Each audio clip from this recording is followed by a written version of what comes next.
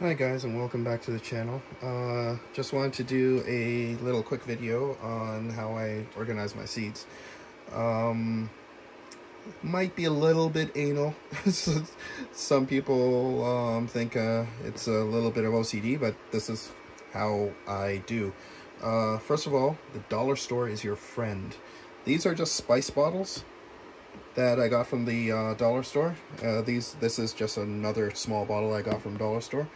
And um, for my plantings like this, uh, this is spinach that I'm just like free casting the seeds uh, all over the tray.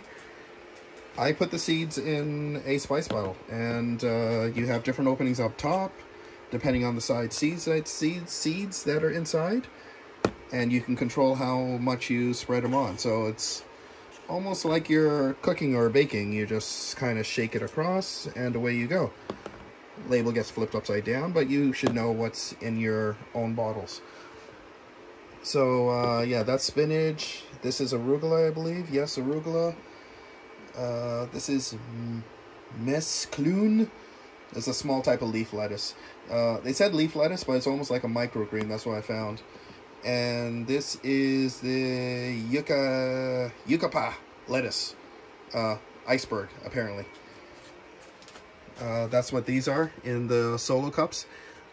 They don't look like iceberg to me but hey that's just me. Uh, but they are starting to ball up a bit.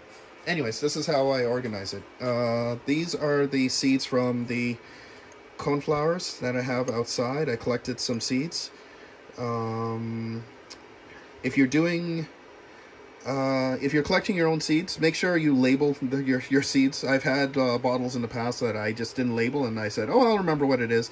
You don't remember what it is.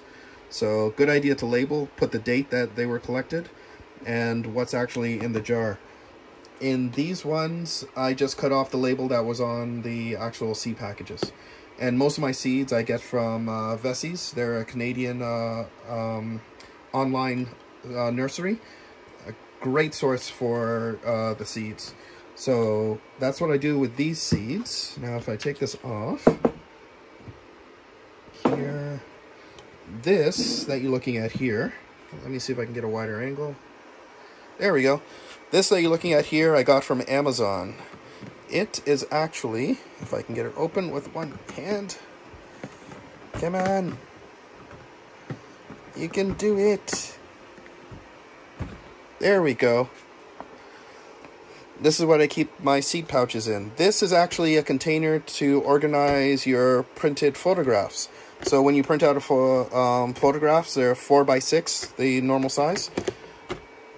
Dating myself for people that don't print their photographs anymore. Back in the day, they were 4 by 6 and they were physical. You could hold them. It was an awesome thing. Anyways, that's my old man rant.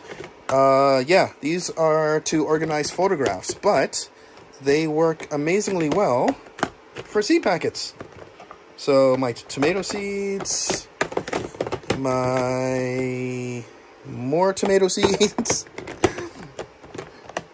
so what I've tried to do is put like uh, vegetables and herbs on this side, and then ideally I wanted to get like uh, flowering plants and stuff over there. But uh, it doesn't matter. These are eggplants, I guess I could go further and put actual like mini labels on top, but um, this does a pretty good job. These are the corn seeds that I'm going to plant uh, this spring. And it's just a nice, neat little way to keep everything together. Has a little handle. And it's very convenient. So I find it very convenient. The only things that don't fit in there is if you buy like massive or huge amounts of seeds.